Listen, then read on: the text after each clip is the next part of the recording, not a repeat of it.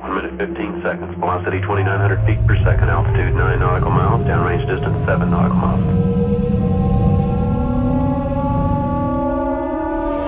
Engine throttling up 3 inches down 104%. Challenger, go and throttle up.